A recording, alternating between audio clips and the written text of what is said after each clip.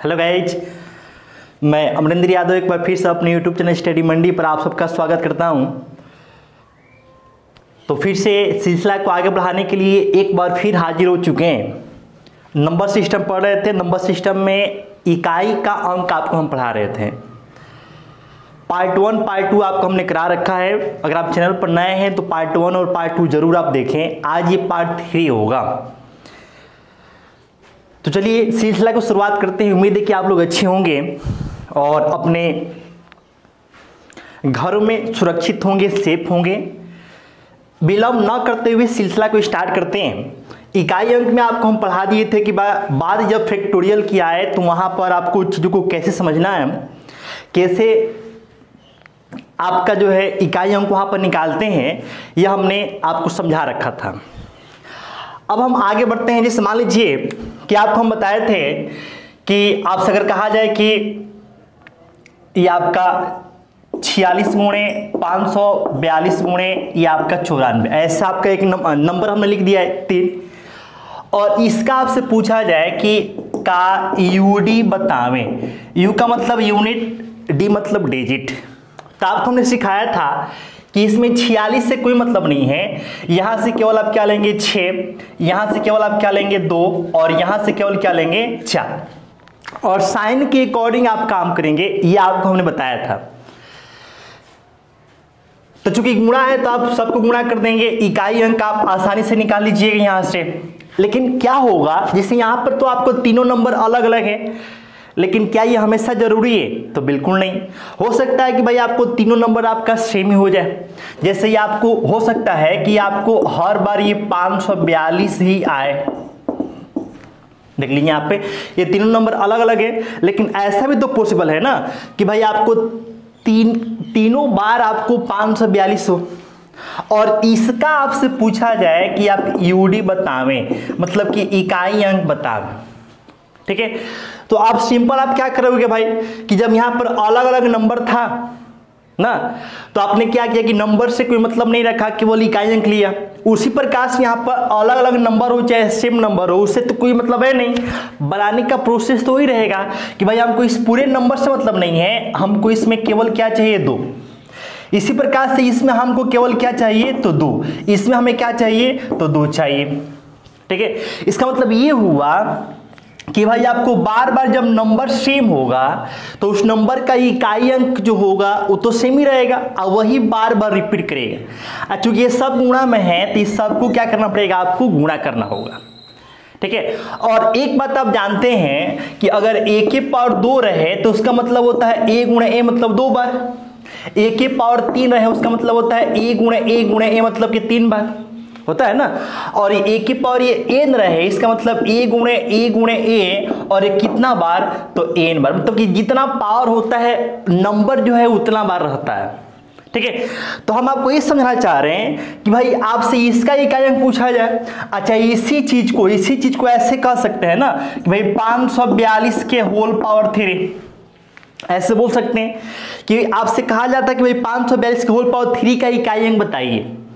ना? तो जब आप निकालते हैं तो ये ये अच्छा ये दोनों तो सेम ही है। आज जब आप इसको हल किए हैं तो ये आया है। तो क्या आप इसको जो है दो के पावर आपका तीन नहीं आएगा? दो के पावर तीन आएगा। इसका मतलब ये हुआ कि जब आप इसको भी हल करेंगे तो चूँकि ये और ये दो, ये दोनों तो एक ही बात है तो जब इसको भी हल करेंगे तो इकाई अंक निकालने के क्रम में यही चीज़ आना चाहिए। ना? और ये देखिए दो जो है अब देखिए भाई यहाँ पर समझने वाली बात है कि तीन क्या है तो पावर है। तो जो पावर यहाँ पर था वो पावर यहाँ पर आ गया। लेकिन यहाँ पर देखिए 542 के बजाय केवल क्या आ रहा है तो दो आ रहा है। आ रहा है ना? आ, दो आपका क्या है तो इकाई का अंक है। दो है क्या तो इकाई का अंक है। तो आप यहाँ पर इकाई का अंक ले लीजिए। ठीक है? यानी कि पावर जितना है उतना रख दीजिए। आप पूरे नंबर से आपको मतलब नहीं रखना है। केवल आपको नंबर का जो इकाई अंक होगा उससे मतलब रखना है। यानी हम ये कह सकते हैं कि आपसे अगर कहा जाए कि ए बी सी डी कोई नंबर है आ, इसका पावर आपका जो है पी क्यू आर एस है और इसका जो है यू डी निकालना है। यूडी मतलब कि इकाई का अंक निकालना है। तो आपको केवल करना क्या है कि भाई इस पूरे नंबर से मतलब नहीं रखना है। इसमें आपका काम का चीज़ क्या है तो काम का चीज़ आपका डी है। ठीक ठीक है? इस ए बी सी से कोई आपको लेना देना नहीं है। तो जब आप इसको हल करेंगे तो आप जो है केवल डी से मतलब रखेंगे। और जो पावर है, वो आपका पावर यहाँ पर रहेगा। तो पावर आपका पी क्यू आर एस है तो आपका power P Q R S हो जाएगा। समझ आया? तो हम आपको बस एकदम छोटी सी बात समझा रहे हैं, लेकिन बहुत ही काम की बात है। हम आपको इतना बात समझाना चाह रहे हैं कि मान लीजिए आपसे कहा जाए कि यहाँ पर आपको जो है चार, पाँच छ सात आठ या नौ, ऐसे नंबर लिख दिया गया। इसका पावर जो है, तीन, दो, चार, ये पाँच, ऐसे कर दिया गया।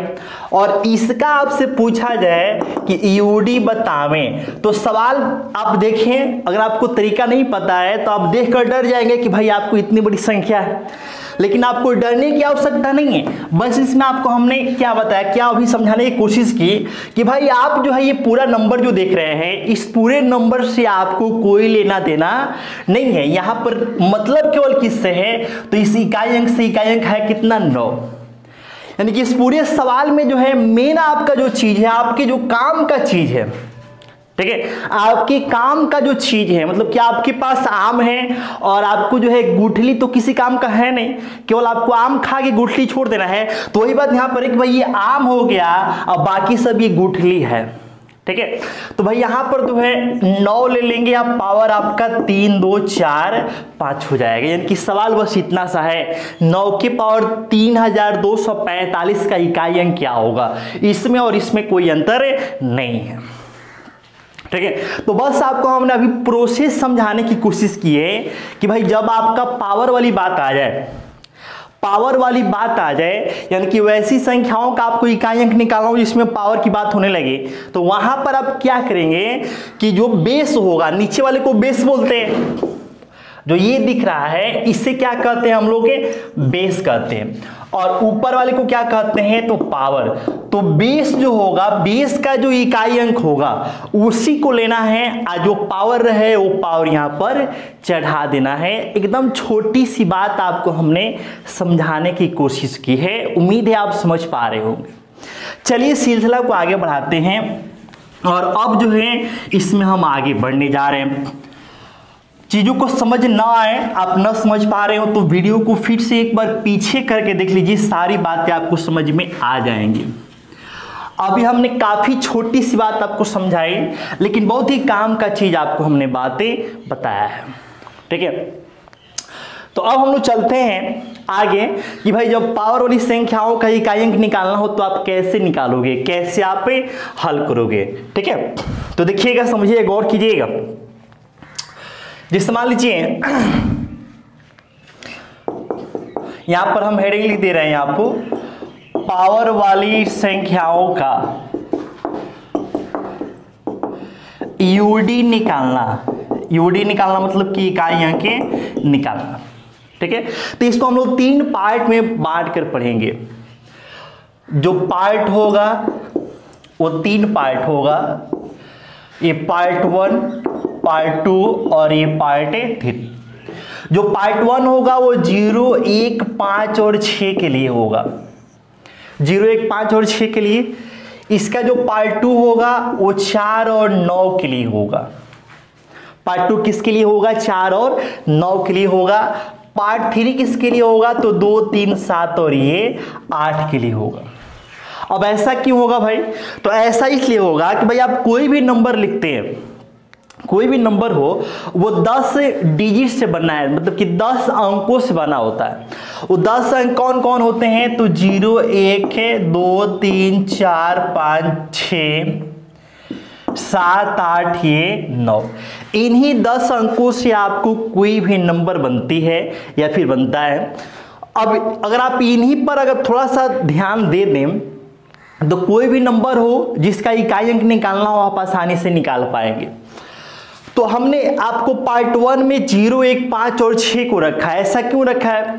कि भाई देखो, यहाँ पर ऐसा हमने इसलिए रखा है कि जैसा नेचर ज़ीरो का होता है, वैसा ही नेचर एक का होता है, और वैसा ही नेचर पाँच का होता है, और वैसा ही नेचर छ का होता है।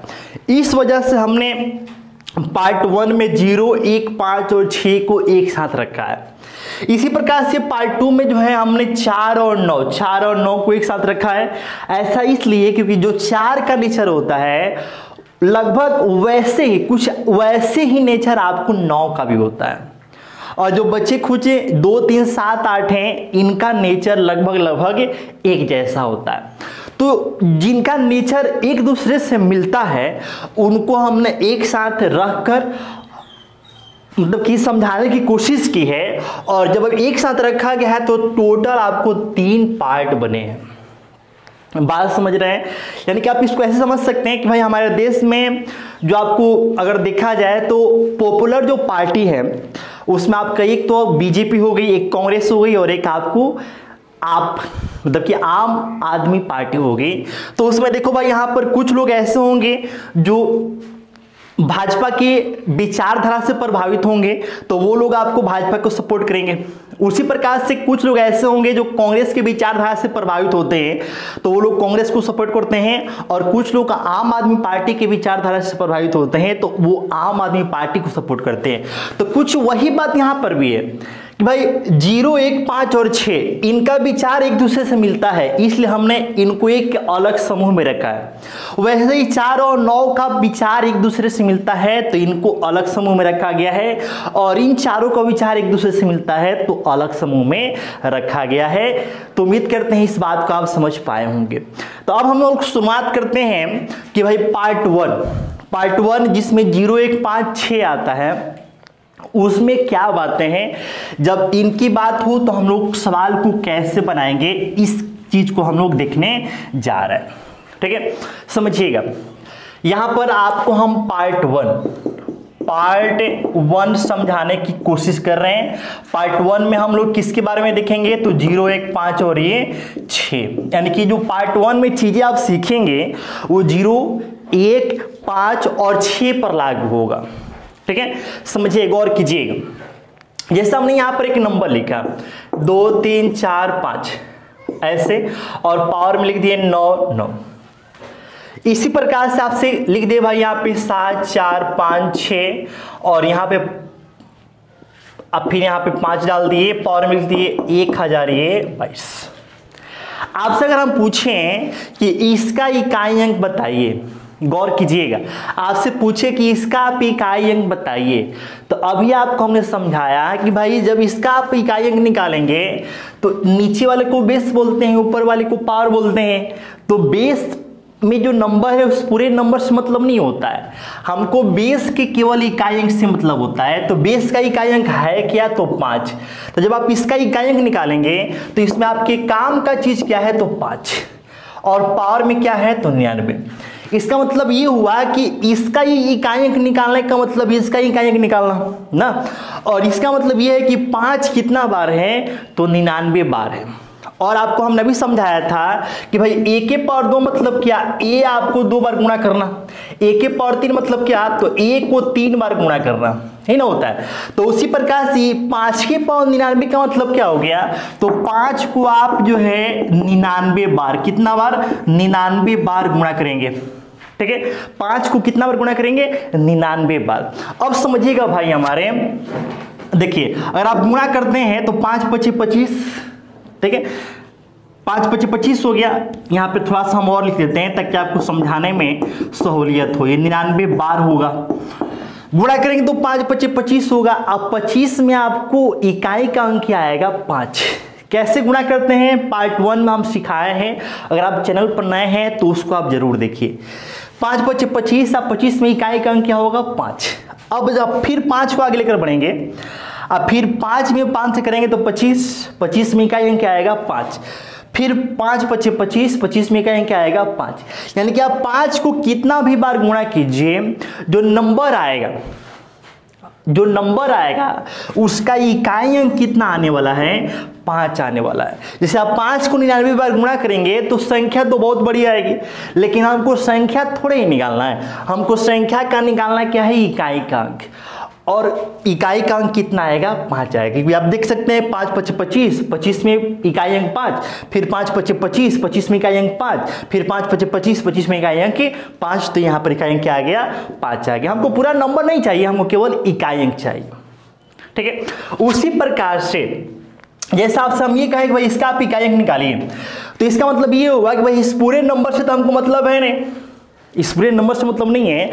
हमको तो केवल आम खाना है, गुठली को फेंक देना है। तो इसमें आम यहाँ पर आपको जो है खाना है तो केवल आप किसको चुनेंगे? पाँच को लेंगे यहाँ पर। ठीक है? जब आप पाँच को लीजिएगा तो ये पाँच आप पावर में कितना होगा? तो एक हज़ार बाईस। अब सिंपल सी बात है कि भाई पाँच की पावर एक हज़ार बाईस मतलब पाँच को गुणा करना है वो भी कितना बार? तो एक हज़ार बाईस बार। तो आप पाँच को कितना भी बार गुणा कर लीजिए, नंबर तो बहुत बड़ी आएगी, लेकिन हमको नंबर नहीं निकालना है, उस नंबर का इकाई निकालना है। जैसे आप पाँच को गुणा करेंगे, आप कितना भी बार गुणा कीजिए, जैसे आप एक हज़ार बाईस बार गुणा करें, चाहे एक लाख बाईस बार गुणा करें। नंबर तो बड़ी बड़ी आएँगे, लेकिन हमको नंबर नहीं निकालना है। हमको नंबर का इकाई अंक चाहिए। तो इकाई अंक आपको हमेशा कितना आएगा? तो आपको पाँच आएगा। अर्थात इसका इकाई अंक ही पाँच आएगा। ठीक है? तो हमने बस ये समझाने की कोशिश किया है कि जब बेस का इकाई अंक पाँच हो, बेस का इकाई अंक पाँच हो, आप पावर देखो यहाँ पर निन्यानवे है तो भी इकाई अंक पाँच आया है। तो भी कहेंगे पाँच ही आया है। पावर देख देखो यहाँ पर। एक है बाईस से तो भी कहेंगे क्या है जी, पाँच ही आया है। तो इसका मतलब ये हुआ कि जब बेस का इकाई अंक पाँच हो, पावर कुछ भी रहे, पावर आपका कुछ भी रहे, इकाई अंक हमेशा क्या आएगा तो पाँच ही आएगा। इकाई क्या आने वाला है? तो पाँच ही आने वाला है। इस बात को आपको ध्यान में रखना है। और ये केवल पाँच पे लागू नहीं होगा। जैसा नेचर पाँच का, अभी तो हम समझाएँ कि जो एक विचारधारा के लोग हैं, उनको हमने एक साथ किया है। तो जैसा नेचर पाँच का तो चूँकि पाँच के समूह में एक है, ज़ीरो है छ है तो कहीं ना कहीं जैसा नेचर पाँच का है, वैसा ही नेचर एक का भी होगा। तो ही समूह में वो है।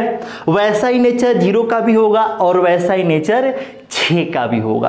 तो कुल मिलाकर कहने का मतलब ये हुआ कि भाई मेरे, अगर आपको अगर आपको ऐसी संख्या का इकाई निकालना हो जिसका पावर दिया हो और उसका बेस बेस का जो है बेस का इकाई अंक ज़ीरो है। अब पावर कुछ भी रहे, पावर कुछ भी रहे, जब आप इकाई अंक निकालेंगे, बेस का इकाई अंक क्या है जी? ज़ीरो है। देख लो, यहाँ पे ज़ीरो है, पावर कुछ भी रहे तो इकाई अंक क्या आएगा? ज़ीरो आएगा। इसी प्रकार से अगर आपको पावर वाली संख्या का इकाई अंक निकालना है, और उसका बेस का इकाई अंक एक हो पावर कुछ भी रहे इकाई अंक क्या आएगा? तो एक आएगा। इसी प्रकार से आपको इकाई अंक निकालना हो पावर वाली संख्या का। और बेस का इकाई अंक पाँच हो तो पावर कुछ भी रहे, इकाई अंक क्या आने वाला है? तो पाँच ही आने वाला है। बातें हजम हो रही हैं। इसी प्रकार से आपका बेस का इकाई अंक छः हो अब पावर कुछ भी रहे तो इकाई अंक क्या आने वाला है? छः ही आने वाला है। ठीक है? इस बात को एकदम रट्टा मान लीजिए। रट्टा क्या मानना है? एक दो बार अगर आप ध्यान से देखिएगा लिखना है तो लिख सकते हैं स्क्रीन शॉट लेना है तो स्क्रीन शॉट ले सकते हैं तो आपको सारी बातें समझ में आ जाएँगी। तो बस सिंपल सी बात है कि भाई ज़ीरो हो तो ज़ीरो आएगा, एक हो तो एक आएगा, पाँच हो तो पाँच आएगा, छ हो तो छ आएगा। अब देखिए भाई, यहाँ पे सवाल हम बताने जा रहे हैं क्वेश्चन क्वेश्चन बताने जा रहे हैं कि भाई आपके एग्ज़ाम में क्वेश्चन जो बनते हैं, वो यहाँ से कैसे बन जाएँगे? गौर कीजिएगा, जैसे आपसे कहा जाता कि भाई आप पे इकाई अंक ज्ञात करें। इकाई अंक ज्ञात करें, ठीक है? और ये पहला क्वेश्चन होता कि तीन, चार, पाँच छ सात, आठ, और ये छः है, अब पावर में जो है नौ, दो, तीन, चार, ठीक है? तो हम इतनी बड़ी संख्या देखकर घबरा जाते नहीं। अगर आप पढ़ चुके हैं अभी अभी आपको समझा दिए कि भाई आपको वो नंबर कितनी भी बड़ी दी हो उससे मतलब है नहीं। हमको जो है, बेस का जो इकाई अंक है, उससे मतलब है। तो बेस का इकाई अंक क्या है जी?